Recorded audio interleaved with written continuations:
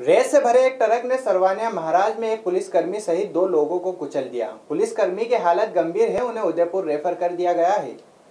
राजस्थान से मध्य प्रदेश में अवैध रूप से रेत का परिवहन कर रहे एक ट्रक चालक ने सरवानिया पुलिस चौकी के एक जवान सहित दो लोगों को कुचल दिया। जिसमें पुलिस जवान की हालत गंभीर होने पर उदयपुर रेफर कर दिया गया है, जबकि दूसरे घायल का इलाज जिला अस्पताल में चल रहा है। सरवानिया पुलिस ने मौके पर ट्रक ड्राइवर को गिरफ़्तार कर ट्रक जब्त कर लिया है।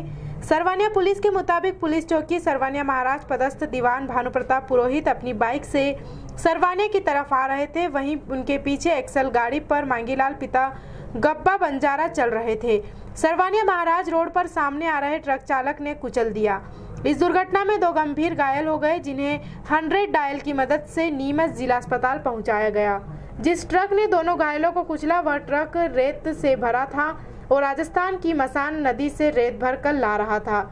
मौके पर पुलिस कर्मियों ने पूछताछ की तो रेत का अवैध परिवहन सामने आया है।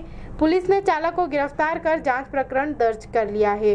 सरवानिया चौकी प्रभारी शिवराज सिंह खींची ने बताया कि घायल पुलिसकर्मी को उदयपुर इलाज के लिए रेफर कर दिया गया है।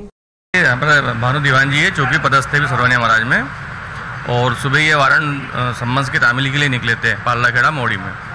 और मोड़ी से वापस सेमली चंदावत होते हुए सरवानिया महाराज चौकी पहुँचे थे कि पाटीदार पेट्रोल पंप के सामने सामने से एक ट्रक आ रहा था। उससे इनका एक्सीडेंट हुआ, उनके पीछे पीछे एक बासा आ रहे थे गणेशपुरा के, मांगीलाल बंजारा करके। उनको भी चोटें लगी है, दीवान जी को सिर में चोटें लगी है। डॉक्टर साहब के द्वारा भी ट्रीटमेंट प्राथमिक उपचार किया गया है। सिर में चोट होने से डॉक्टर साहब बोल रहे हैं कि इनको बाहर रेफर कर दें।